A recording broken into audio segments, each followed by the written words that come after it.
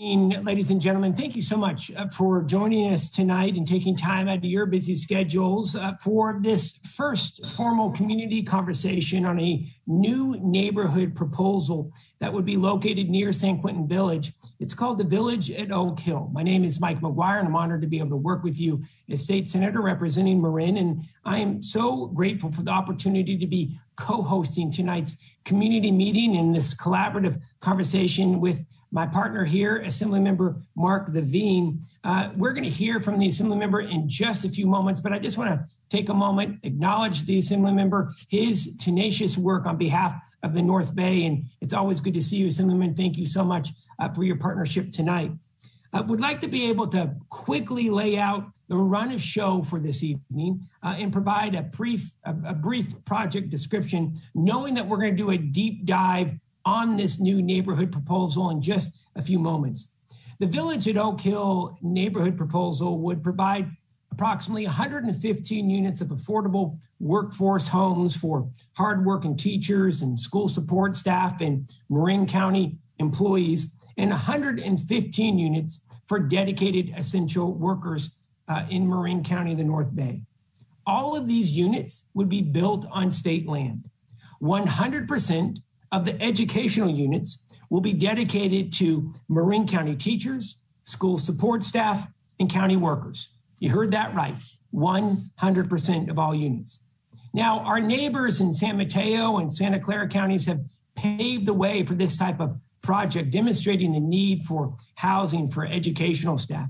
After building out educational educator housing in those two communities, the school district and the community college district realized some positive outcomes. Number one, teacher retention rates, they went up. Turnover rate went down. Student success in the classroom increased. And recruitment costs in Santa Clara was reduced by approximately $250,000 per year. There are massive benefits living where you work. And as we know, over 60% of Marin's workforce drive from out of county into county each and every day. And we know this is simply not sustainable. Now, tonight you're going to hear from a series of speakers, and we are so grateful that they've joined us tonight. We have the Department of General Services with us this evening, and his name is Jason Kinney. Uh, they are the point for the state on this project, and they also lead. They lead uh, on all real estate transactions for the state of California.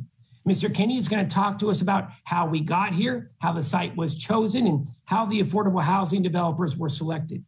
We'll also hear directly from the nonprofit affordable housing development teams on all aspects of this proposed new uh, neighborhood.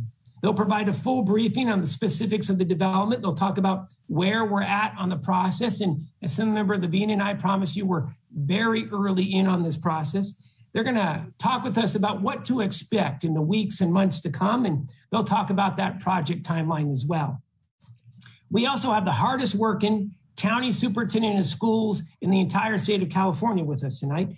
And you know her. Her name is Mary Jane Burke. She's going to focus on the importance of this project for the greater Marin educator community. Once we hear from all of our panelists, we're going to hear from each and every one of you. And this is the most important part of tonight. We know neighbors are concerned about potential increased traffic and density. Some have viewshed concerns. We have dozens upon dozens of questions that have been submitted this evening. We're going to dive into those questions in just a few moments. Assemblymember Levine will be taking the lead on that. And we're also going to be taking your questions live tonight. If you'd like to submit a question now, we're going to be taking your questions, your comments, your concerns at senator.mcguire at senate.ca.gov. Email us your live questions right now, senator.mcguire at senate.ca.gov. We're going to try to get to as many as possible here uh, in the next hour or so. All right, let's jump into it and turn this community meeting over to Assemblymember Mark Levine, our partner uh, in tonight's event. Assemblymember, love working with you. Thank you so much for your partnership, and I'll turn the floor over to you, sir. Well, thank you so much. Good evening. And again, thank you, Senator McGuire, for your partnership. I'm grateful to have you be a part of this tonight. I'm Mark Levine. I'm proud to represent Marin County in the Assembly since 2012. Thank you all for joining us. Tonight, we will be discussing an important topic for many housing. The development of state owned property for the purpose of building affordable housing, the village at Oak Hill, is an important opportunity for our community. And when I say our community, I know what I'm talking about. I live just down Sir Francis Drake Boulevard in Greenbrae. The village will be located on Sir Francis Drake Boulevard between Larkspur Ferry Terminal and San Quentin State Prison. It's important that we have quality housing for our county workforce right here in the North Bay to reduce traffic congestion, congestion and related carbon emissions. And when I visit our schools, I'm often approached by teachers who thank me for my advocacy to open the third eastbound lane on the Richmond San Rafael Bridge. It helps them get home to their families earlier each evening. But imagine if they could live on this side of the bridge. It would be a game changer and a life changer for many. This one opportunity won't solve all of our challenges, and there are others we must seize to help our visible homeless with permanent supportive housing. But the village at Oak Hill is an important start. We all have many questions about how Oak Hill will address issues impacting us. And tonight is one part of recognizing and addressing these issues. Now, I would like to introduce the Superintendent of Schools, Mary Jane Burke. Mary Jane will discuss the critical need for educator and support staff housing and how living where you work makes our schools stronger. Mary Jane. Great. Thank you so much. I'm very happy to be here. So, today, October 28th, 50 days into this school year, there are still 317 vacancies in the public schools of Marin County. What are those positions? Teachers, speech therapists, custodians, paraprofessionals, food, food service workers, psychologists, bus drivers, just to name a few. And this is not for the lack of trying. What have we been doing? We've had job pairs, We've had direct recruitment. We've had widespread advertising. We've increased some salaries. We put post it notes on our local paper. We provided support for people who want to get a credential, personal refer- referrals, outreach to universities and colleges. So I want you to know that the lack of affordable housing and the high cost of living in Marin County is the number one issue that is affecting our public schools' ability to hire and retain educators to do the most important work in the world. Because what we know is that when you invest in your children, you're investing in the future. So that's why I'm excited to be here tonight. I think we have a great opportunity with the, this particular project, and we're going to hear a lot of details. So let me ask you this Is there a need? Well, 306 317 vacancies. Well, that tells you there's definitely a need. There were 450 Marin County educators who recently did a survey. 78% of those indicated that they had to commute into Marin. Why? Because there's no way it would be affordable for them to live there.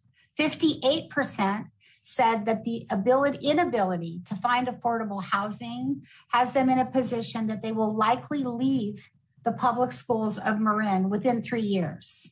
63% said yes when asked if they considered leaving their current job to get to a place where they could actually afford to live. And no surprise, 87% of those 450 said that they would definitely want to stay here in Marin County in the event that they could find affordable housing. There's other numbers that speak to this issue as well. So as you're, we're all aware, uh, to buy a home now in Marin County, an average $1.7 million. And to put that in perspective, that's $500,000 more than the average was just three years ago. And at this point, the median rent for a one bedroom apartment in Marin County is now $3,000 a month.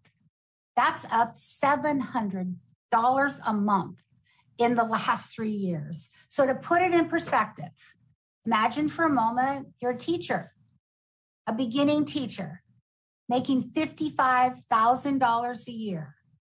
It would require 65% of that teacher's income to just be able to live in that one bedroom apartment. So, we're going to get details about how many units will be available, and that's going to make such a difference. But I want you to know that when we think about income eligibility, that based on the information that we're looking at for low to moderate, over half of the educators that work in Marin County will be eligible. I want to repeat that half of the Marin County uh, educators will be eligible. So there'll be a lot of demand. So let me just tell you about one of them. Um, I want you to picture Monday, just this last Monday. And if you can remember it for a minute, there was a storm, right? This raging storm was going on. And we have a maintenance worker who doesn't live in Marin because he can't afford to live in Marin, but he was there first thing in the morning at 5:30 and what he was doing was making sure that the schools were safe for both the staff and the students. But not everybody knew that for him to be there at 5:30, he had to leave his house by 4. He had to travel over two bridges because of the, what was happening with the roads. And there he was, sitting there, not sitting there, working hard to make sure everything was safe for students and staff. And so I'd want us to think about what this could mean for a professional like that. What would it have been like on that rainy, rainy day in the torrential storm if he was able to get up and start working in his community without that commute? And so I want you all to know that um, from the County Office of Education that we are very much looking forward to the potential and the execution of this project. So thank you very much, Senator McGuire. Thank you so much. That's Mary Jane Burke, County Superintendent of Schools here in Marin County. Thank you for being here tonight. We're going to hear more from the superintendent in just a bit. She let us know all, uh, ahead of time that she has another meeting tonight. That's why we call her the hardest working uh, county superintendent in the state at 7.30 she's going to be with us for as long as she can all right we're now going to be getting into the technical details of this project and we're grateful that we have jason kinney with us uh, mr kinney is the deputy director of real estate services uh, for uh, the department of general services he oversees the real estate division He's involved in so much across the state. We want to say thank you, Mr. Kinney, for your service. He's going to be talking about the executive order and how we got here, why it's being why this development is being proposed to be built on state land. He's going to talk about how the land was chosen, the specific site, uh, and also how the process went about in regards to selecting these nonprofit housing developers. Mr. Kinney, the floor is yours. You have five minutes, and we'll give you a 30 second prompt. Good, good, good evening. Thank you, Senator McGuire and Assembly Member Levine. Thank you for the opportunity to present tonight. I know that folks would probably rather hear from the developer on specifics, so I will definitely make my comments brief. Um, and, and, as, as Senator McGuire mentioned, I want to uh, just briefly address how we got here. And when Governor Newsom took office, one of his earliest directives was for the state to look really hard at state property that wasn't being utilized to its full potential, to repurpose as much of that as possible for housing and to leverage the value of the land in doing so. And that direction was really the beginning of how we got here. The ultimate goal, of course, is to ensure that state government is doing its part to address the state's housing crisis, but also to do so in a way that's sustainable, equitable, and inclusive. And we try to make sure that our projects address area related needs as well. And in this area, uh, in addition to the, the general need for affordable housing, period, workforce housing has actually been a goal for, for us from day one, and it's a huge part of why this, this site was um, selected for potential development. Um, now, when we when we have any particular piece of state property that's going to be developed, we do a couple of things. First, we look at overall feasibility. Um, and in this case, we actually partnered with the Terner Center and UC Berkeley, uh, whose graduate program did a conceptual project analysis for the site. And kind of a fun fact on that we made our entire portfolio of state sites available to UC Berkeley um, to sort of self-select which sites they thought would make great developments. And this is one of uh, three or so that they actually picked themselves without prompting for us. It's there's a lot of kismet here. Um, beyond feasibility, kind of getting into development details, uh, we also bring in the local governments. Um, and so we've been working, I think, really well with both Marin County and the city of Larkspur from day one. They really have been at the table from day one. Uh, before we ever started the process of selecting a developer, the city and county provided us with site information, aspirational goals. They reviewed our solicitations. It's been a it's been a true partnership, I think, from the beginning. Um, now, speaking of selecting a developer, I think it may be helpful to note that, like our other projects, we do issue a formal public solicitation. Um, we want to get the right partner, and so we actually start with a request for qualifications, and we shortlist to only qualified firms. Here, we actually had four interested uh, developers that we shortlisted. Um, and then we issue a request for proposals that is specific to the site, um, leading us to select Eden and Thompson Dorfman in the end as the best overall proposers. Um, and, and, and since I know, like you, we're all looking forward to their presentation, um, I just want to conclude by saying that, you know, after tonight, I hope everyone will share my confidence in Eden and Thompson Dorfman being the right team to get the project across the finish line.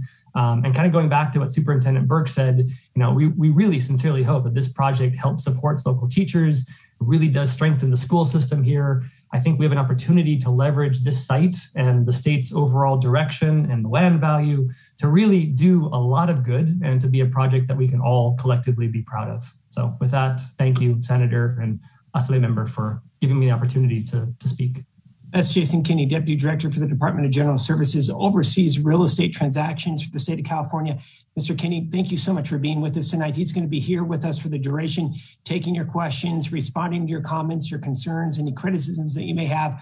Uh, and speaking of that, you can also email your questions in live right now, senator.mcguire at senate.ca.gov. We're taking your questions live tonight. We also have dozens of questions that have been submitted prior. Assemblymember Mark Levine is ready to go with those. But if you'd like to uh, email your questions in tonight, senator.mcguire at senate.ca.gov.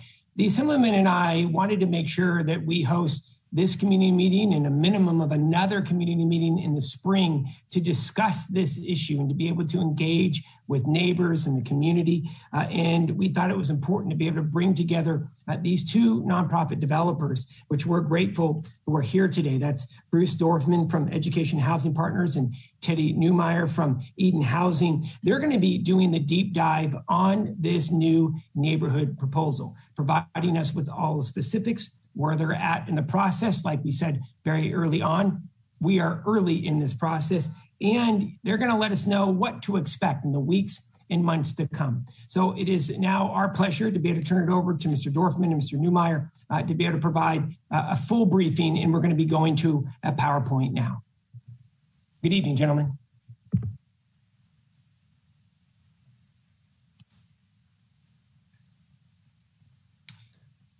Who's kicking us off? Uh, Mr. Bruce is, can, can, you see the, the PowerPoint? Yep, the PowerPoint's up and good. Okay, good. Uh, good evening. On behalf of Eden Housing and Education Housing Partners, I wanted to thank Senator McGuire and Assemblymember Levine and their staffs for tonight's town hall and Superintendent Burke for participating. We are pleased to introduce our Oak Hill Workforce and Affordable Housing Development if you have comments or questions about this project after the town hall, feel free uh, to contact us at our web project website at oakhillmarin.com. We are interested in your feedback. I would like to start by noting that this rendering is very conceptual in nature. While it has allowed us to do a preliminary scoping in, of the development and test some design concepts, it does not represent the final architecture colors, or massing of the project. We are still completing physical due diligence on the site and receiving input from interested parties and that will help to inform the project design.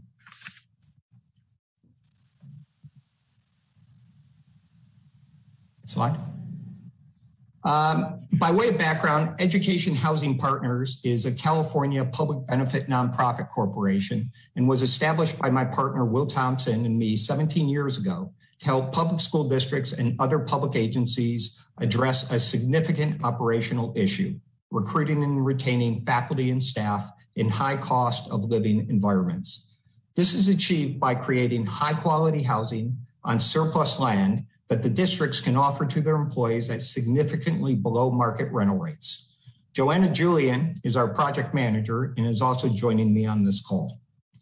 Our firm has deep roots in Marin, and we have worked and lived in Mill Valley for the better part of 40 years. During this period of time, Thompson Dorfman Partners has developed over 75 multifamily properties containing 17,000 apartments, condominiums, and homes in primarily coastal California communities.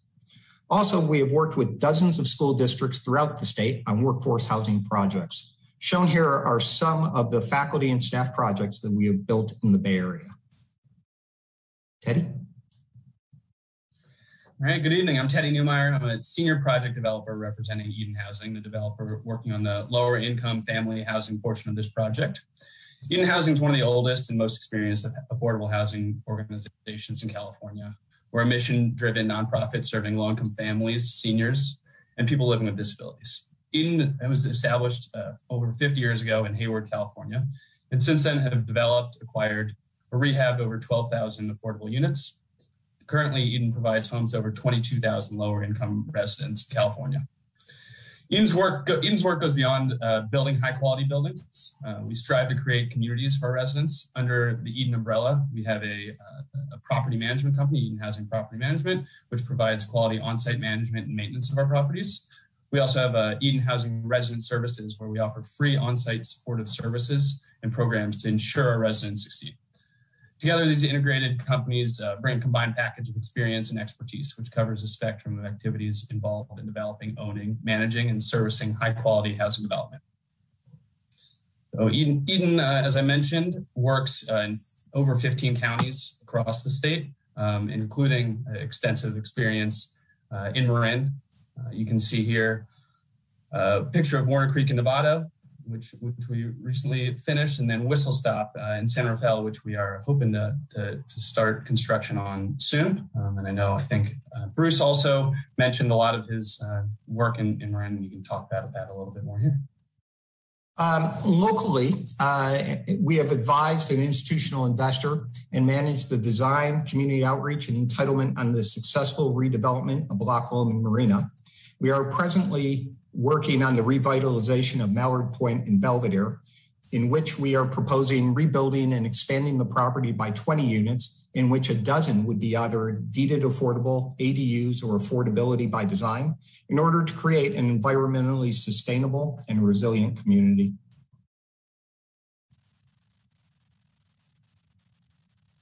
The Oak Hill site is a very compelling property for multifamily development.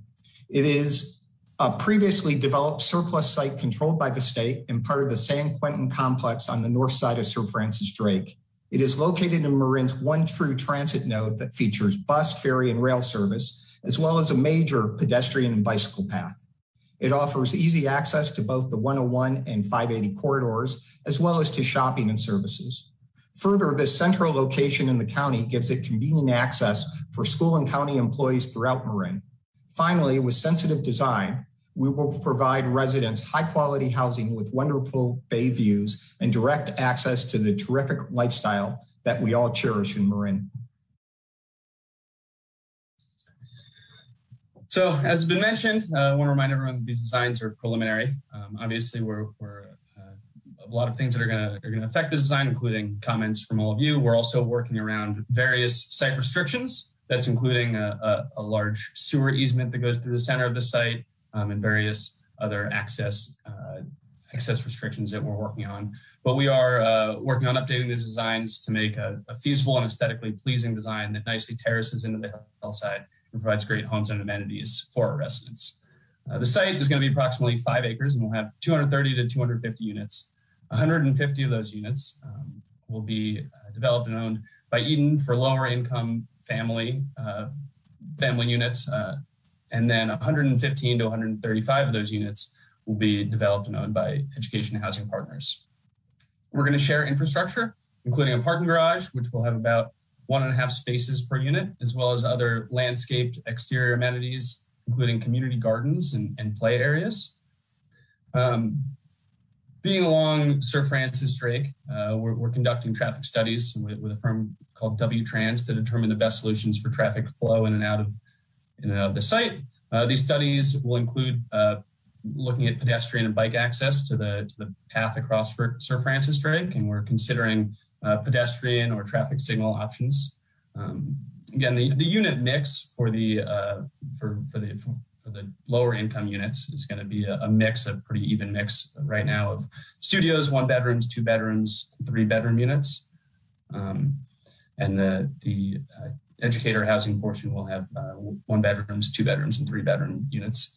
Uh, and the estimated development cost currently is about 150 million to 175 million dollars. Um, in addition, uh, here's here's some pictures of, of uh, what, what the interiors will look like in some of the amenity areas.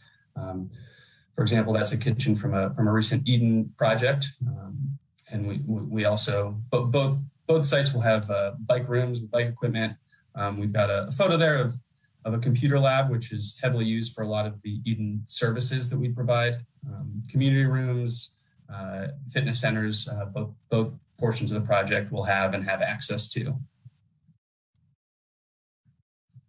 Great. Uh, one thing I just want to clarify is that um, Education Housing Partners actually will not own the uh, teacher housing. That will be owned by, and the uh, county housing. That's going to be owned by an entity created uh, between MCOE, uh, the County Office of Education, and the county itself. Um, with regard to time frame, um, it should be noted that the state is the lead agency for processing environmental review, design, building permits, and issuing the certificate of occupancy. Um, as mentioned, we are still in the early stages of this process and completing due diligence, preparing reports required for CEQA, and seeking community input. We hope to complete the initial design work in the spring of next year, uh, and that hopefully will dovetail with another town hall meeting uh, so we can present that design uh, to the community. We also uh, are looking to commence construction at the beginning of 2023 with a project completion by mid 2025.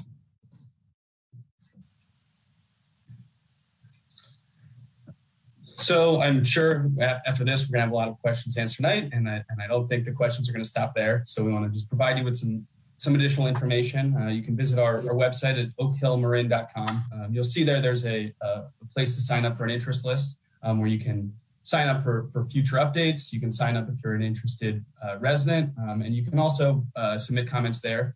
Um, as we mentioned, you can also submit comments to Oak Hill at edenhousing.org. Um, and we plan on having a similar town hall to this in the spring. So, with that, I want to again thank thank Senator McGuire, Assembly Member Levine, um, Jason Kinney, Mary Jane Burke, and uh, I will pass it back to them and we'll start some questions. Thank you. Yeah, thank you so much, Teddy and Bruce and and uh, Jason um, and Mary Jane. Uh, we've got a lot of questions, and you wouldn't be surprised, and you shouldn't be surprised to know that the as I've been putting them into buckets, traffic is probably the most frequently raised question uh, that we have received. And I know in uh, earlier in this presentation, we talked a little bit about the traffic studies. Um, and so I, you know, to try to put all those questions together instead of, you know, trying to piecemeal them all out, kind of where are we in those studies? Um, what what are you know even if we're early those potential options you know one person for example thought there might be a flyover um, you know so if we are there any perceptions or misperceptions I'd love to be able to to knock that out. As someone who takes kids to school every day on Sir Francis Drake, I, I'm also pretty sensitive to traffic, but I also recognize people are already coming over that bridge, and if we bring them here, um, we're not increasing um, traffic at all potentially um, on that on that part of Sir Francis Drake. So, um, who wants to take the lead on on that? And if I'm not getting what some people are looking for, I'll I'll I'll ask. Teddy, why don't I uh, start with that? So again, you know, the CEQA protocol is now looking at VMT or vehicle miles traveled. So, um, as Superintendent Burke mentioned, many of her or many of the district, various school district employees are commuting into town. To the extent that we can shorten those commutes, we are actually going to have a positive effect on VMT. And we are currently in the process of completing a traffic study but our general sense is just based on uh, that factor that so many people are commuting into Marin, that we will actually have a positive impact, impact overall on traffic. Mm-hmm. You you mentioned environmental review. Um, a really great question, and I know the person who put the, this question in um, asked about the, the the risk and, and the fear of the unit count getting uh, pushed down um, in that review. Is that is that reality or is that not something that could occur?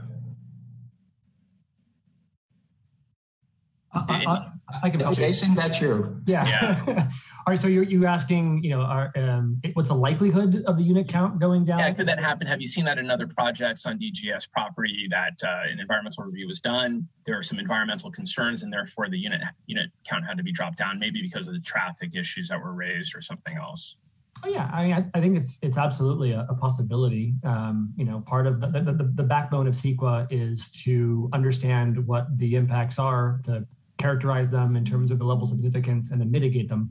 Um, and you know, mitigations are supposed to be you know what is you know possible, feasible. Um, and so, it, you know, reduction in units, if that has a direct uh, uh, relationship to the the significance of the impact, is is would possibly absolutely possible under CEQA. But but I think uh, you know, as I look at this project, I, I feel as though, to Bruce's point about vehicle miles traveled, we'd probably be reducing them significantly, mm-hmm. and uh, th- that would be uh, the likelihood of that unit reduction would be slim. Um, yeah, I'm not. I'm not um, convinced that that would be a likely outcome, uh, yeah. but it is possible, and obviously we've got to take the environmental impact seriously as we do that review.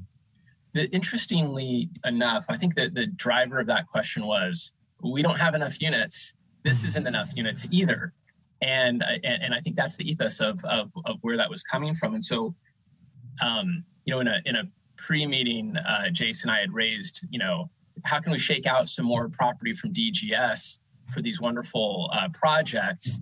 And I hope that message was relayed to you because I know that you had to miss that that call that we did. Um, but is there a pipeline of more of these types of projects? In particular, this was asked for for school staff, um, and, and, maybe the superintendent might have a, a key a window into the future. Or in yeah, Jason, if you know. yeah, yeah. For in terms of the state properties, I can say, I mean, we we actually looked at over forty four thousand properties statewide. Um, and we have a pipeline of about 100 properties also statewide um, that are in the queue and, and more get added. Um, and so, you know, uh, we, we definitely try to do this around the state. Um, is it possible more would happen in the area? We'd love to see more happen in the area. Um, but um, yeah, we're focused on this one, obviously, right now. And so just to add to that, definitely our hope is that this is this is ground zero, step one. It's very successful and we are continuing to move forward because we definitely need this. And obviously you're right, this is not enough, but you have to start somewhere. So uh, this will be our ground zero for this effort.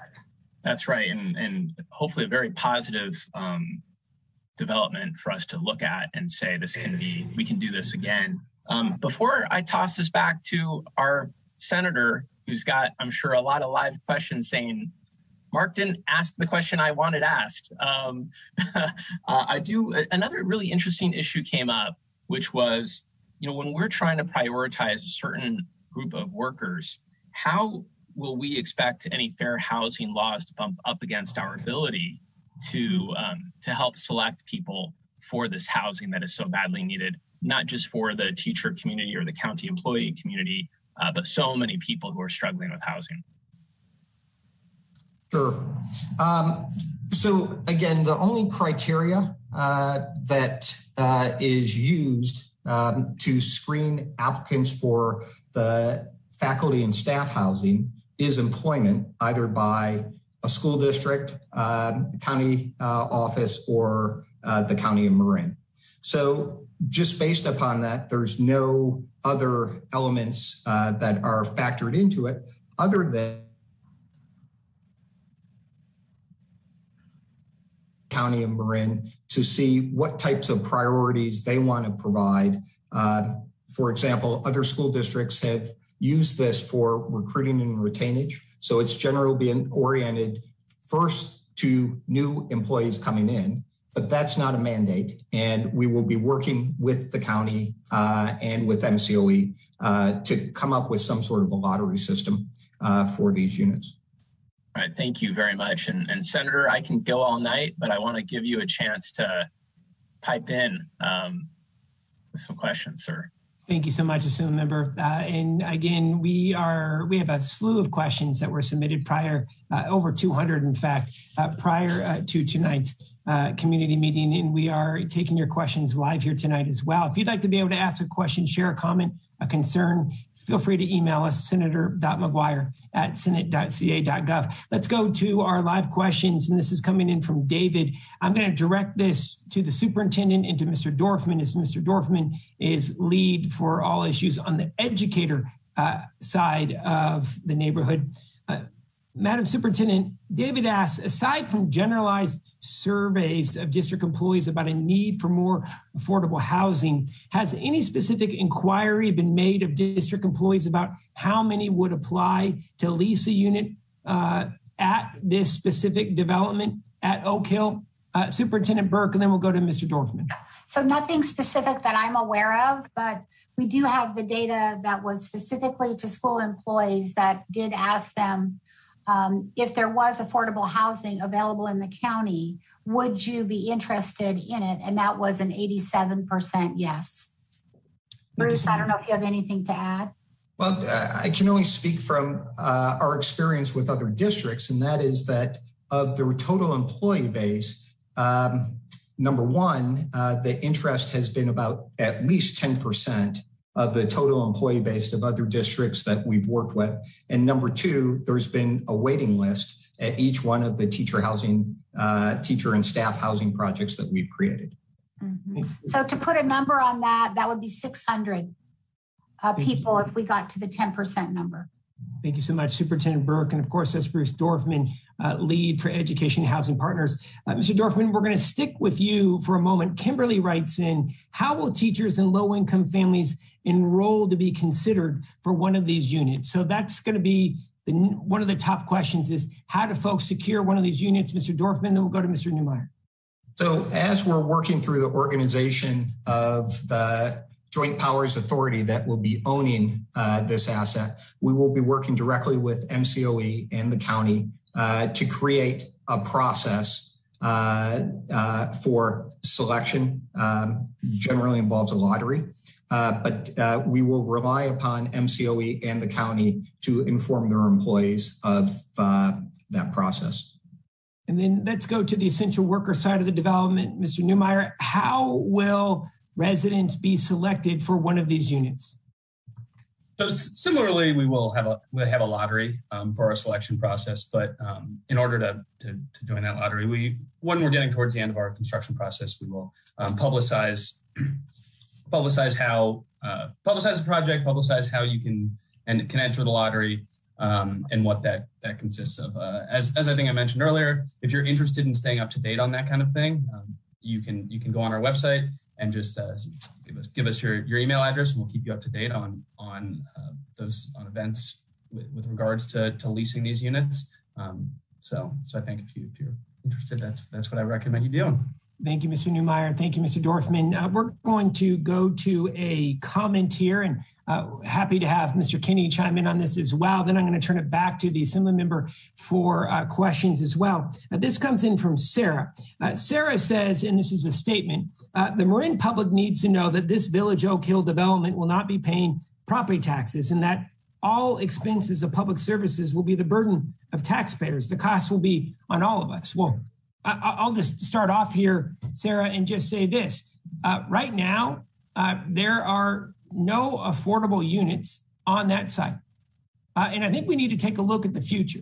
We need to take a look at the future of this county. 60% of its workforce, of Marin County's workforce, drives in every day. We can't say that we're for taking climate action if we aren't supportive of additional smart development opportunities in this county right now. And as the assembly member just said, if we can get folks to live where they work, those carbon emissions will be reduced year after year. And what we've seen in Santa Clara and San Mateo counties, retention goes up for teachers, turnover goes down, and success in the classroom is increased. So I, I got to say, also, the state doesn't pay property tax already. So it's public land. So uh, I, I, don't know if uh, Mr. Kinney wants to be able to chime in on this. And the last thing I'll also say this is very common. We're working on a development right now in the city of Novato, 49 units of uh, for homeless veterans. The city of Novato is providing the land, and the state, the county, and the Marin Community Foundation is funding the development. This is a very common practice because the cost of dirt in Marin and in the Bay Area uh, is so damn expensive. To be able to get these units built, to be able to get teachers housed, to be able to get essential workers housed, we have to find innovative solutions. But Mr. Kinney, I don't know if you want to chime in on this, and then I'm going to go to the superintendent, and we're going to go back to the assemblyman. Uh, Mr. Kinney. Yeah, it's a uh, happy to address the comments, um, and it is a complicated subject. Um, but trying to simplify it down to your point, Senator. Right now, the county essentially assesses zero taxes on it because it's state property, so there is no tax revenue coming in. Um, but you know there is there is case law on on these sorts of developments, and um, you know there are categories of taxes that the property would be subject to. So I don't think it's it's accurate to say that there wouldn't be anything. Um, there there generally will be, um, and um, you know it's something that gets it gets developed uh, along with the development itself over time. On potential improvements in the future yeah. development of the site. Yeah, exactly. Absolutely. Superintendent, we're going to do 60 seconds if that's all right, and then we're going to go right back to the assemblyman. Go right ahead. I didn't have anything to add to that. Well, right. nope. Hey, there we go. We got an amen from uh, Mary Jane Burke. Thank you so much. Uh, let's go back to the assemblyman. Yeah, thank you. And I, you know, another point about the the land um, from the state, it's essentially a gift to our community to be able to use it for something our community so badly needs, and uh, and and we have to recognize that for for what it is but also the economic vitality that it can also generate when we use it for this purpose. And uh, but the important thing is local consultation, and uh, and so we do have a lot of questions about that. Um, you know, this is kind of a, a, state project. A lot of this is being run through the Department of General Services, the environmental review, so many things that we expect city councils to do. Jason, can you talk a little bit about, you know, how you've been engaged with the city of Larkspur and how you've been engaged with the county, and, and of course also the, the Office of Education um, to make sure that local consultation is in place. Uh, please. Yeah, sure. So um, when we do these projects, um, and trying to be brief, um, you know, obviously um, we we own the site, but everything that happens off site is is not within our purview. We can't require the locals to do certain things, and so um, there has to be a partnership on day one. Um, you know, utilities, offsite improvements, those sorts of things. Those conversations happen. We also are really clear when we come in and do these projects that we don't want to do something that is you know foreign and alien. Um, we want to do something that fits the context, meets local needs, as I mentioned earlier. Um, and so, you know, a big part of that is the conversations with county and cities on, on what that would look like, what's appropriate for the area, um, how we can meet some of those needs. Um, we make our solicitations available to them for review and comment before they ever go out. Uh, we often offer uh, the local governments, actually, we, not often, we always offer local governments to sit at the table in the selection of developers as well. Um, and they're a partner after selection um, and in the same way, wanting to make sure that as we're going down this path, we're doing so together. Um, these are state properties, these are state developments, but at the same point in time, you know, it's in someone's backyard. It's it's it's in a community, and and we have to recognize that. And I think we we deliberately attempt to be inclusive because of that reality.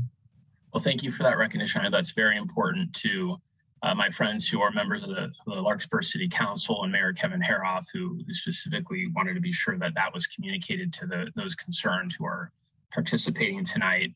Another interesting issue, it's not unique to Marin, uh, is the issue of water.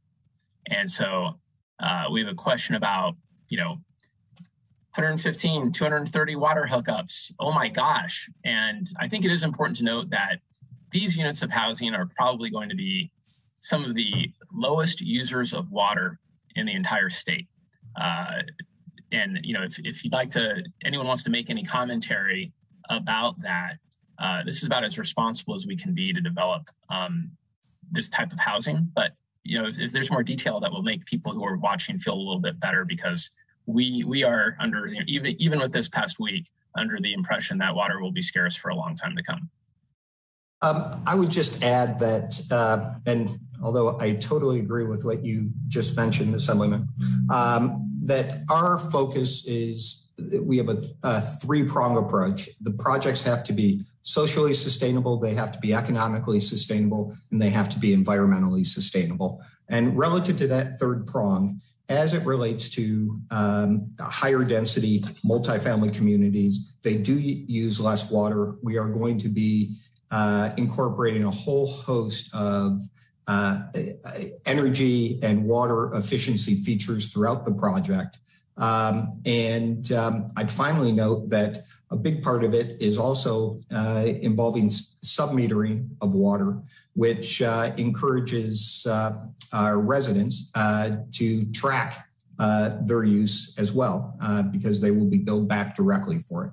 So I think that you know a variety of fronts, it will be a very efficient project, not just from water use, but also from energy consumption use across the board.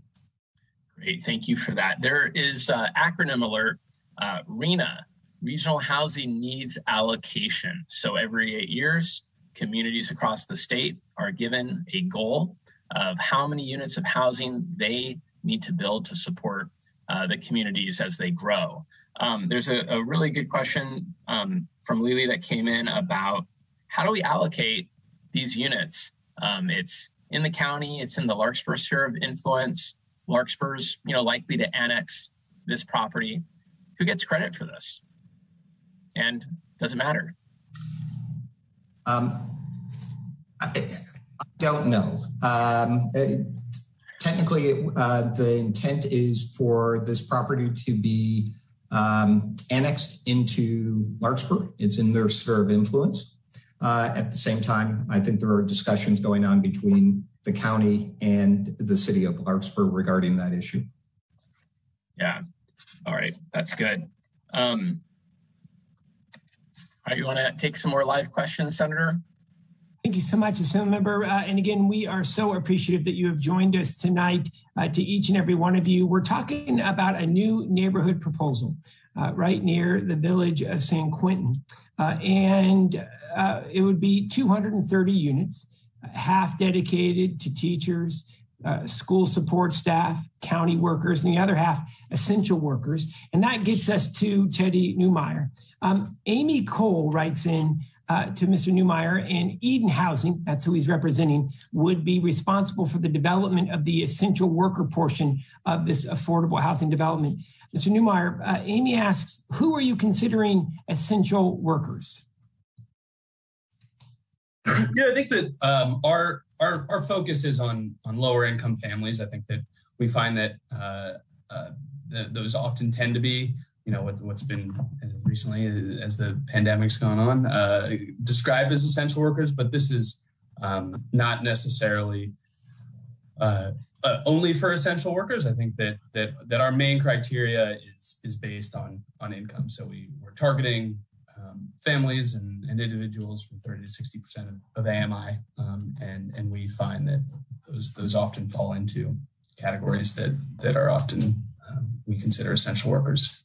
So 30 to 60% of area median income. So I'm just going to throw out some potential professions and you let me know if you think I'm correct. Uh, it would be uh, grocery clerk workers. It could be healthcare workers, for example. Uh, it could be folks who work with local government or in schools. Um, correct, uh, Mr. Newmeyer? I think we, we find that folks in all of those professions do often live in, in our properties. We, we see that as being in the, the case in this one as well. So yes. I want to stick to who would qualify uh, within the Eden housing portion of this. Kay writes in, are police, fire, and other emergency services part of the conversation and planning for the units? Uh, Mr. Newmeyer.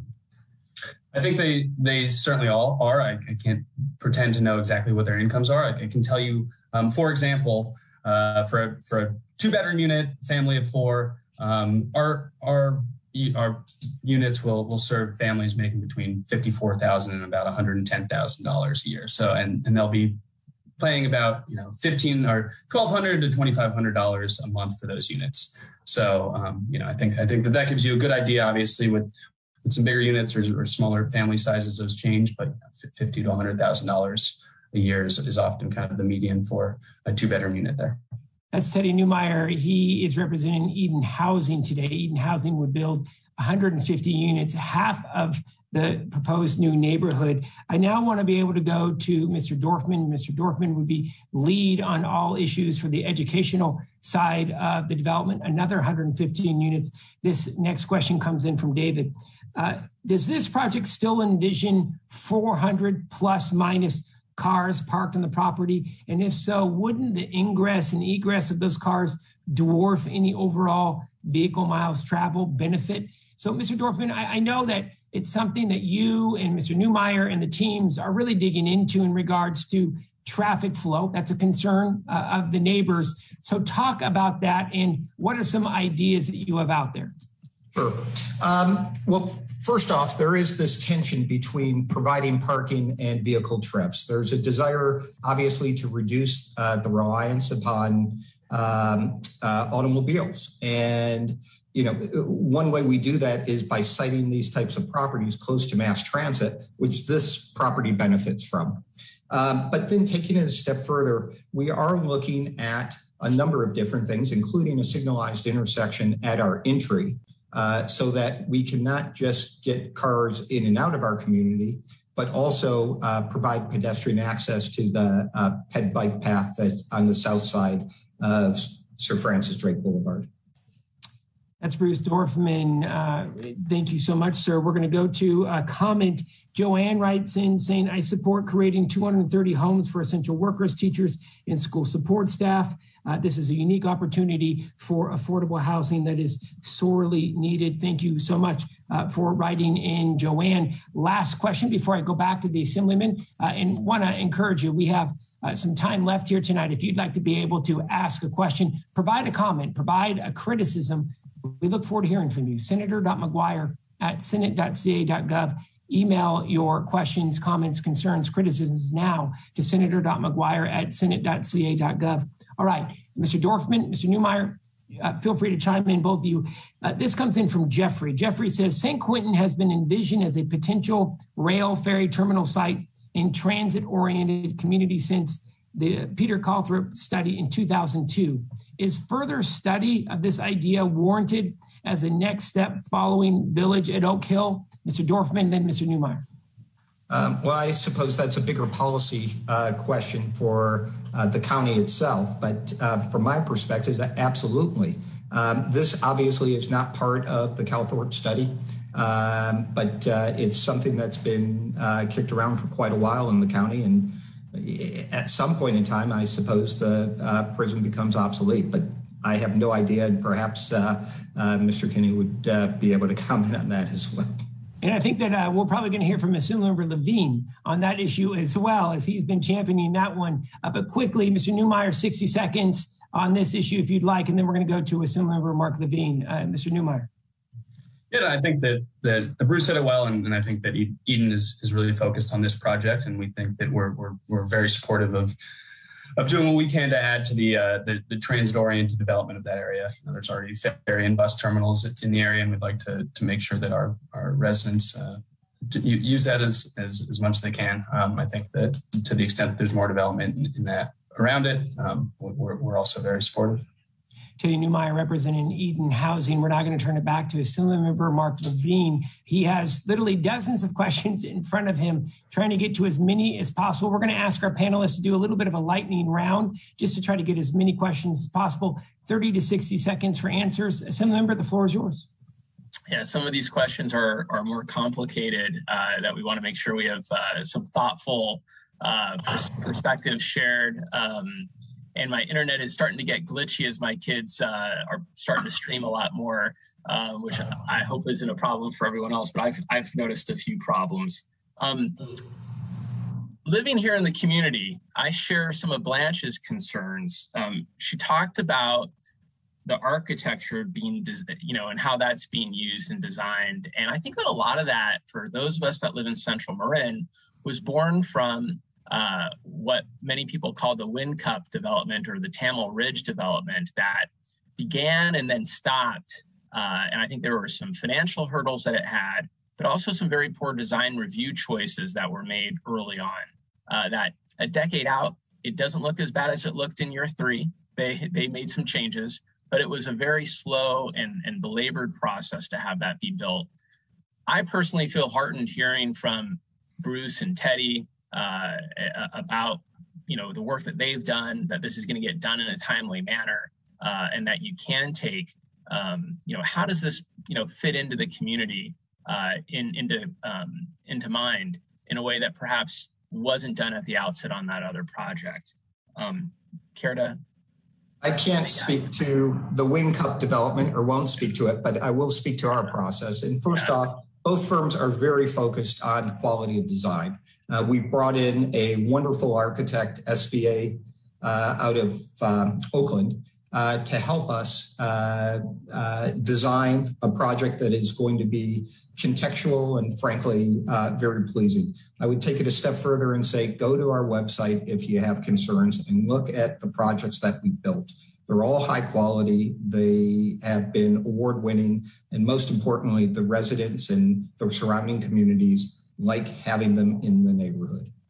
Yeah, and, and, as Jason said, you were shortlisted uh, as qualified uh, developers. Um, so you know, there's we can always point to Jason. Jason, can you talk about what? How do you make that list? How do you you know how did we figure out that hey these are the high quality developers um, that can plan something like this that that we need to you know take those those proposals. Yeah, I mean, we're we're looking at um, their their development shops, so uh, you know projects of commensurate size, complexity. Uh, looking at their um, work in the area, we're looking at their you know financial uh, feasibility, not just in the project itself, but we're also looking at what they're proposing, the likelihood of getting, getting it off the ground. Mm-hmm. Um, we're looking at you know their their sense of the community and what the outreach process is going to look like. Um, so we're, we're looking at those elements. I think that that really you know show us that we've got a developer who who can deliver something uh, on its face. And then the RFP itself, uh, you know, obviously they proposed a specific project that we're evaluating for even further. We don't know what the future holds, but we we have housing that is old. You know, we have very old housing stock in Marin. Um, but we look at other developments like Golden Gate Village that has, you know, maybe met its its best, you know, seen its best years and needs a lot of um, work to to maintain that quality. Uh, the question from Blanche also included a question about, you know, how can we make sure that this is something that's going to last and, and be built solidly for for generations? I mean, yeah, I think that from Eden, Eden's perspective, you know, we take pride A in, in building building projects that are built uh, in, in, with, with, with good materials, certain materials that are going to hold up for a long time. And then we also have our, our in-house management team. And so, so we you know, are, are, are very proactive in making sure that our buildings are well maintained um, and, and, and can, can withstand for uh, their lifetimes. Yeah, so that, that building management is important. We want it to be high quality housing, and when if a tenant has an issue, uh, that those things get resolved. Whether it's a water leak, a plumbing issue, electricity, um, that those are meeting the highest standards for members of our community. And I would just add that um, MCOE and the county are long-term owners uh, of these of our portion of the project, and uh, because of that, what we're trying to do is keep um, our costs as low as possible, our long-term operating costs, um, and by building a quality project up front helps to do that um, because the rents are directly reflective of uh, the operating costs. So the lower uh, the operating costs are, the lower the rents. Well, as a taxpayer, I also thank you for making it easy to take care of, uh, you know, locally owned uh, developments like that. Um, to that point, and, and I think, you know, to the, the things that held up uh, other developments mid-process, the question from Ron was, what are the funding sources? So we know we got a gift of the land. Where is the other money coming from? And you know really what is you know we talked about it in big big amounts but you know, kind of what are those stacks of money as the, as ron had described them? Bruce do you want to start? All right i can, I can go. No.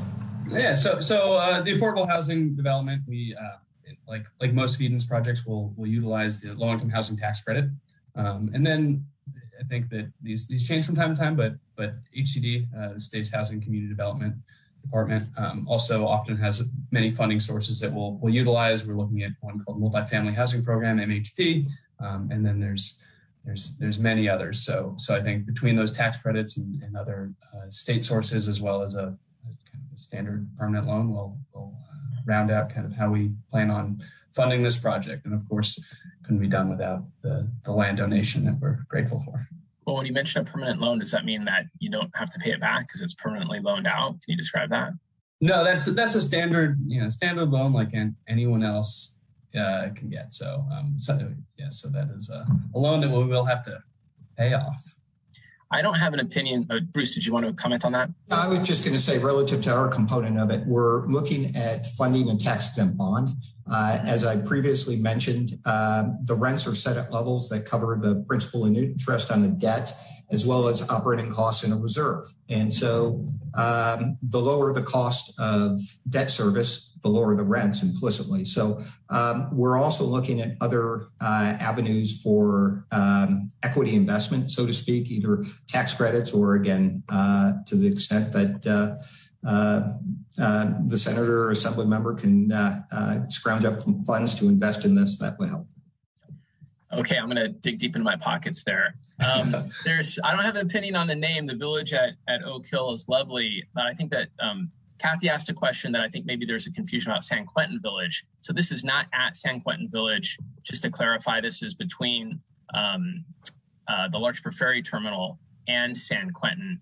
Um, her question was regarding whether San Quentin Beach will still be open for people who don't live in San Quentin Village, and this doesn't have any impact on that. And I wanted to make that clear to anyone uh, that was uh, had that misperception. So thank you. Senator McGuire. Thank you so much, Assemblymember. All right, we are going back to our live questions here. Thank you for emailing us. So we're going to try to get to as many as possible. Let's hear from Ms. Flores. Ms. Flores writes in, uh, we have teaching staff that are part of the disabled community. Is there any way to include units for this population? I know four teachers in the disability community that would appreciate a home. So Mr. Dorfman, let's talk about that. Uh, talk about universal design here. And for someone that may have physical disabilities and being able to live in that educator housing, uh, what would you say to Ms. Flores? Oh, eh, first off, um, 100% of the project will be uh, accessible um, uh, to disabled uh, residents. So I think that's uh, the answer. But um, uh, certainly the units are all made to accommodate people with handicaps. All right. Thank you so much, Mr. Dorfman. This is a comment coming in from Karen. Uh, Karen says, I think it's unrealistic to assume that anyone housed in the apartments is currently driving uh, and coming across the bridge. So it's disingenuous to make an assertion that seems to allege the number of people who reside in the apartments will not add to traffic. That's Karen coming in with a comment. And like we said, we're going to take any and all comments here tonight or criticisms as well. So thank you so much, Karen. Uh, Actually, uh, if I could respond to that, um, our project at College Vista, which was 44 units, uh, the um, San Mateo Community College District determined that those residents commuted a quarter million miles less per year by moving to that community. So I would uh, say that uh, there is no question that residents will drive less because they will be moving from much further away. All right. Thank you so much, Mr. Dorfman. Uh, based off of previous development and study off of that, uh, another comment has come in from Cynthia. Cynthia says this is a great location at housing in Marin. It's accessible to many work sites via public transportation. As surplus government property, it's appropriate the land be put to beneficial use by the people who live, work in Marin. Uh, Al writes in, uh, Al says, what makes you think prime real estate with million dollar views is the right place to be able to build affordable housing? Uh, the city of Larkspur already rejected uh, former uh, Supervisor Kinsey's proposal for San Quentin development. Just let San Quentin be San Rafael's answer to Tiburon. So, look, I, I think here's my bottom line, and I'll uh, turn it over to anyone else that wants to comment. Um, affordable housing uh, makes our community vibrant. Uh, literally, we're trying to house teachers. Teachers are teaching our kids, folks who are checking us out at Safeway those who are responding as a paramedic in our time of need. Um, we should all want to rally uh, around a development that's going to help keep folks who are working in Marin in Marin and being able to live and raise their family here. Um, look, my bottom line is this. Uh, will there be changes this development based off of community feedback? Absolutely. But if we take a look at the great need, especially here in the North Bay area, for this type of housing that's going to be able to provide teachers and classified support, county workers who are uh, doing the job, keeping our streets open day in and day out during these storms and wildfires. We should want to be able to go the extra mile for them. And I completely agree, Al. This these uh, uh, units will have million dollar views and they should be shared with everyone, not just those who can build a million dollar home. My own personal opinion, but anybody else wants to uh, chime in on this? Uh, Teddy, uh, superintendent? Superintendent's ready to go. Oh, sorry. So I, I would totally agree with you. And I think who better uh, than that should have that great view than the people that are doing so much for our community um, in a myriad of roles as essential workers. Are they're the people that are making the difference. So I think of anyone who deserves the great view, um, I would say particularly these essential workers, which include our amazing teachers who are very tired at the end of a long day because they work um, tirelessly on behalf of the children of others. Why not have them be the ones that get to rest with a great view? That's Mary Jane Burke, County Superintendent of Schools. I'm going to turn it back over to the Assemblyman. Assemblyman, I don't know if you want to comment on this one specific uh, comment that came in, and I'll turn it back over to you for any questions or comments that you have. Well, I've got some pretty uh, fairly radical views about what's appropriate at San Quentin, um, which to me also includes a state prison. We place a high value on incarceration in this state, perversely perhaps, but the fact that we uh, have people that need rehabilitation um, and that we have people who are donating their time, their talent, and their skill going into that prison to help rehabilitate others who live close by. It's not possible in uh, Tulare County, in Kern County, and other parts of the state, but it is possible right here, where many people say uh, within the prison system that San Quentin is like the Harvard of our prison system. That you got to go to San Quentin if you want to get some of the best rehabilitative services. So to think that we are just carving off a small slice of that property for people that work in our schools is uh, is great and is an opportunity we can't pass up. And if it wasn't clear, I'm an unabashed fr- uh, fan of this project. But that doesn't mean that we shouldn't give it scrutiny and we shouldn't ask hard questions, that we shouldn't expect the very best for our community and for our teachers and support staff that are going to live there. Which is why I was asking questions about making sure if they have a problem with plumbing, that that's going to get listened to and that's going to get solved because I don't want uh, school teachers living with mold or fungus or worse. Um, and so that's my my very short take on that one, Senator. Um, so we've got some interesting questions. Ashley is concerned about HOAs uh, and I, and suggesting that perhaps you know HOAs could be discriminatory or something like that. And I don't I don't know how that would play into something like this development. Um, but certainly, as I have expressed concerns about the tenants there, um, is there any type of a, you know, this is very early on. I guess they could self organize and create bylaws of a tenants um, organization. But have you seen something like that before that works against the discrimination that Ashley is concerned about, but also make sure that the concerns of the tenants are heard and realized, or not realized, but resolved? I think that homeowners associations are generally associated with um, for sale housing, uh, condominium, or uh, uh, for sale communities. Um, 100% of this project is rental. So there are not going to be, there's not going to be a HOA. And, but has there any been something like that in a, a tenant situation where they have, uh, you know, an association, you know, they can, I know some people that live in places that have, you know, social functions. They've got an organization that helps them plan for those types of things, gives a voice to, to people who live there. Um, our community uh, managers will certainly do that, but um, relative to uh, uh, informal association, I'm not familiar with anything like that at our properties. But uh, Teddy, we sorry, we we do a lot. Uh, we we have our uh, community managers, which obviously are always there to to take input from our from our residents. We also have service service managers on site um, which which serve a, serve a similar function, but often represent the needs of the uh, the residents even more. Um, and we do we do have some properties where uh, I believe residents organize a little more, but we we do I think at least annual surveys of all our residents, um, mm-hmm. which which the whole company reviews and and uh, in, in responds to any any concerns that these residents might have. So I think that um, in terms of larger organizations uh, organizing. Uh, we haven't seen that as necessary from our tenants' perspective, but we're, we're always open to taking their their input. Uh, okay, thank you. I appreciate that. Um, we had a question about, you know, we're talking about this specific site, and you, have talked about a couple of other places that have occurred across the Bay Area too, but perhaps, Jason, you can share with us where else is this occurring? Um, I think it's important for people to know that either this wonderful opportunity or this pox upon us, uh, you know, isn't just occurring for us. Um, you know, we're finding places to house uh, people who need housing all across California and in the Bay Area. Do you have a, a are you able to give a, a, you know a little bit of a list of places that are dealing with this too?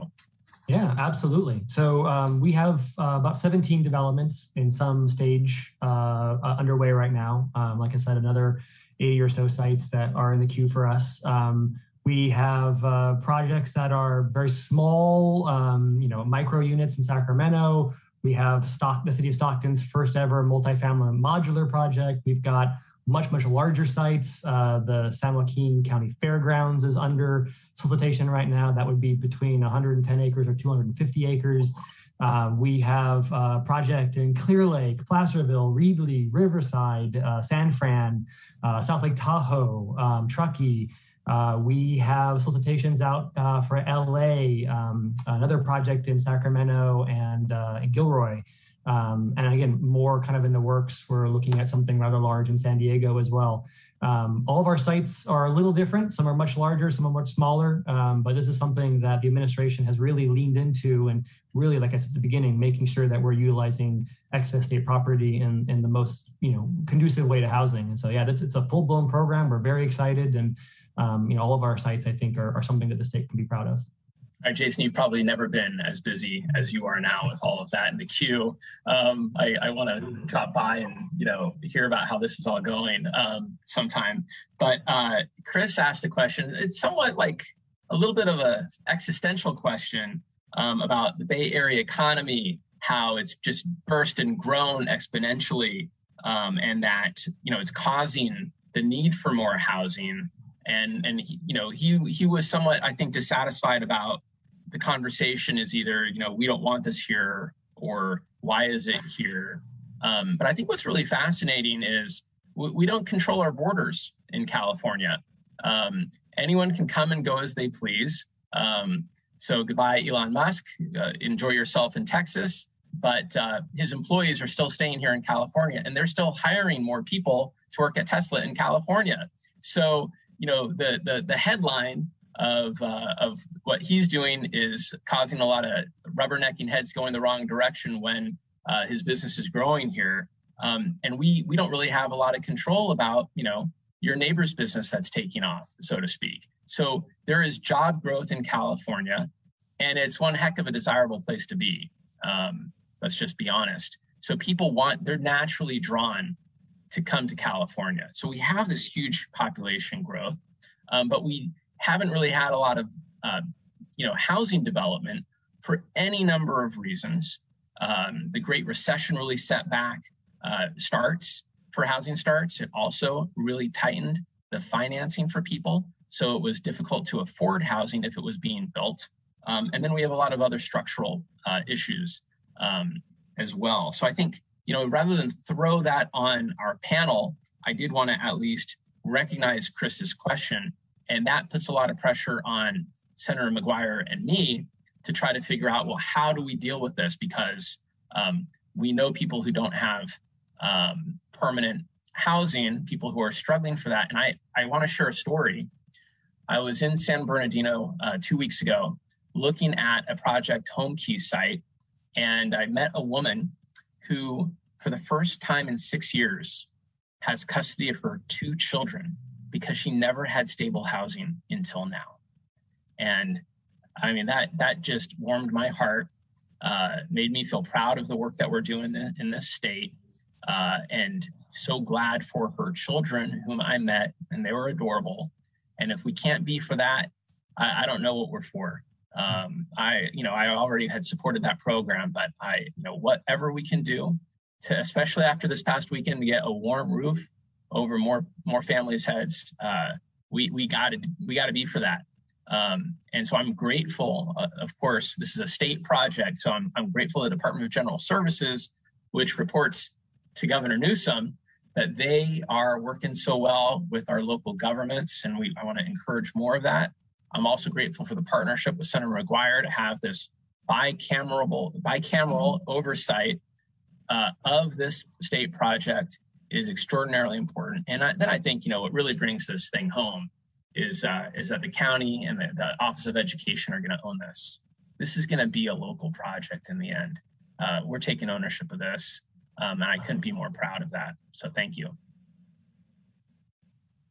Thank you so much, Assembly Member. We're uh, going to be winding down here in just a few moments. We'll be asking uh, closing comments from each of our panelists. We have just three quick uh, comments, questions, uh, a couple that will be going to our nonprofit housing developers, and then one to uh, Superintendent Burke. Uh, this comes in from Karen. Karen writes in, are there considerations, and again, a lot of questions tonight about traffic and public transportation infrastructure, rightfully so, right? So Karen says, are there considerations about transportation infrastructure around the locations where these units are going up? San Quentin doesn't have a lot of roads in and out. I'm not a Republican, but I'm retired, tax to death, longtime resident in the Bay Area. And I'm concerned that we are going to have a come one, come all program. I volunteer locally with an organization that furnishes apartments for previously homeless people. So I'm sympathetic to this cause. I, think it's really clear, though, to distinguish this project is going to be focused on edu- uh, teachers, classified staff, essential workers. This is not a homeless development. Um, it, it's truly those folks who keep our communities running each and every day. But let's get to the issue of public transportation.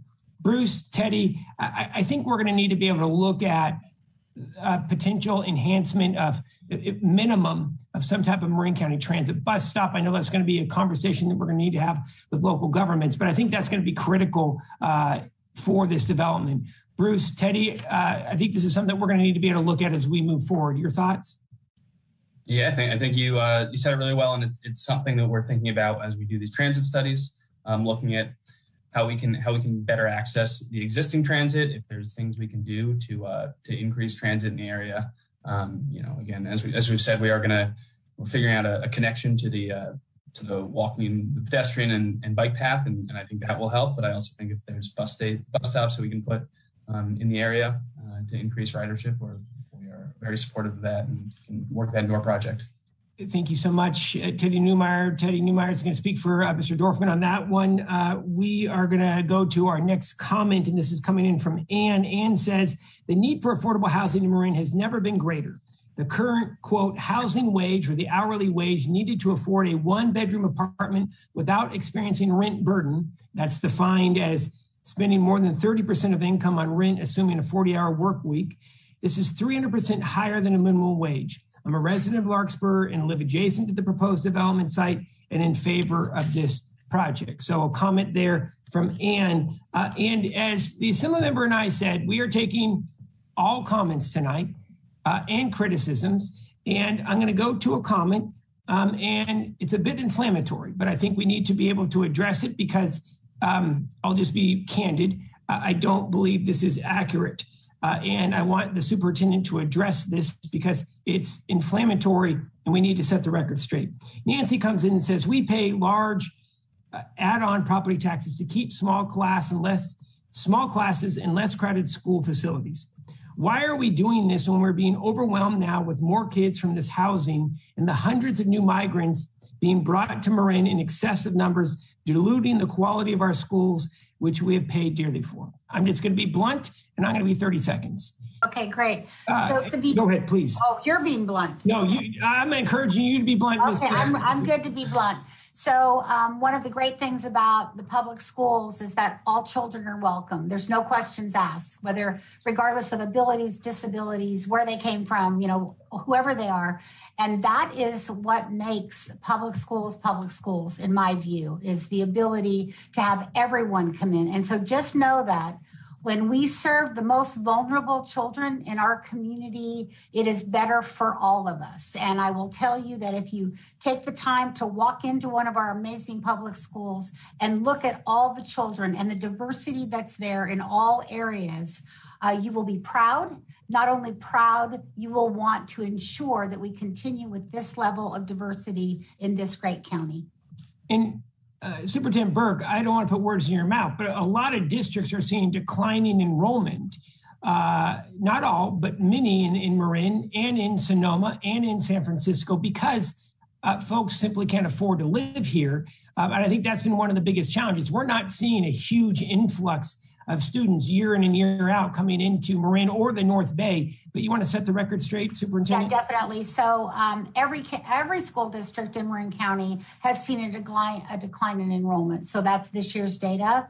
Um, and our hope, uh, frankly, is that we get more of those students back. I'm not sure, you know, if we lost some of these students during the COVID era, but the statewide trend is a decline in enrollment overall. So you're right, Senator.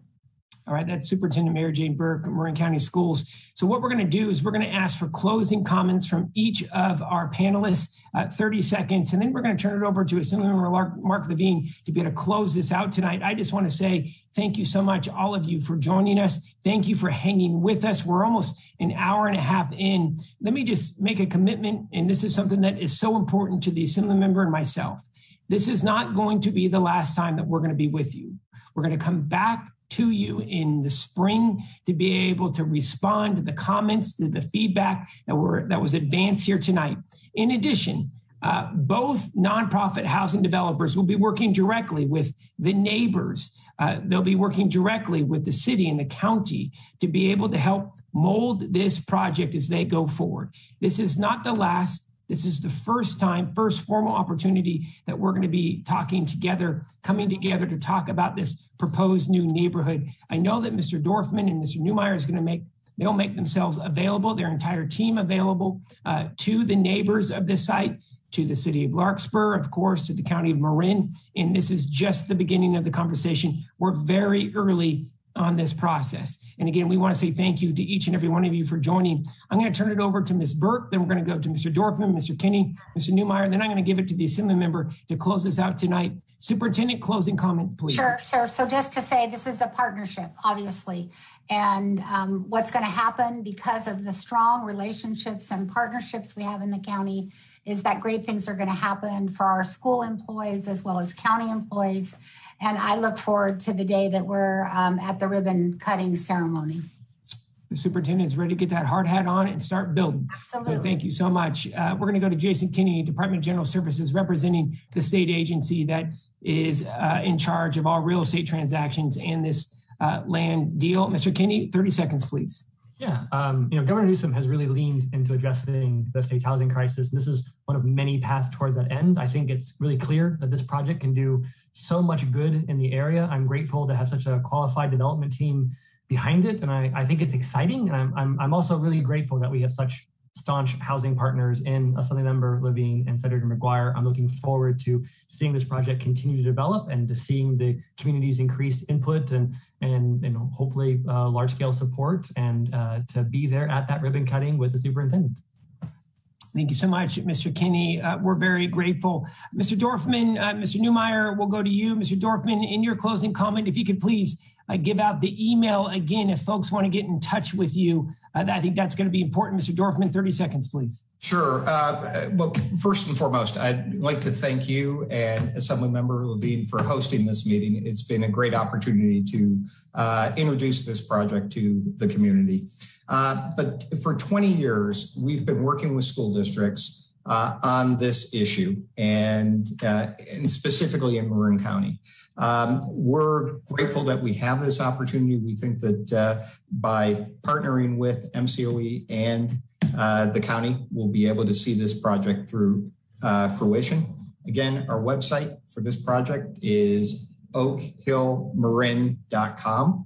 And any questions or any information that you're looking for, uh, please register online and we will respond to you. And uh, again, we uh, cherish input. So uh, the more, the better. And Mr. Dorfman, I think uh, Assemblymember and I would not be uh, flipped to say it doesn't take a formal meeting for communication. You're going to continue reaching out to neighbors as well, correct, Mr. Dorfman? Correct. All right, thank you so much. Teddy Newmeyer, Eden Housing, 30 seconds closing comment, please. Yeah, not much more to add, but I, I do want to thank uh, Senator McGuire, uh, Assemblymember Levine for, for their hard work and support for this project. You know, we, I think that uh, this work is hard and the state support opening up this land has been incredibly beneficial. Uh, Jason Kennedy and his team have been incredibly helpful and, and, we appreciate their support as we push forward with this. Um, again, uh, to, to, reiterate what Bruce said, um, we, we, look forward to, to, answering these questions more in depth as we get more information ourselves. Um, Oak Hill Marin, oakhillmarin.com is a great place to find information and sign up for future uh, f- future notices and, and info. And, and, I appreciate everyone who's stuck with us and, and appreciate everyone's support. Teddy Newmeyer, thank you so much. We also want to say thank you to Carrie, Summer, Anna, Rebecca, Carlene, and Abby, who are behind the scenes, along with Rich, Assembly member, who have been helping be able to make this community meeting possible. We're very grateful. Assembly member, I'm going to turn it over to you to close this out tonight, and we look forward to getting back together with you, of course, in the spring and continuing our work together on this important project.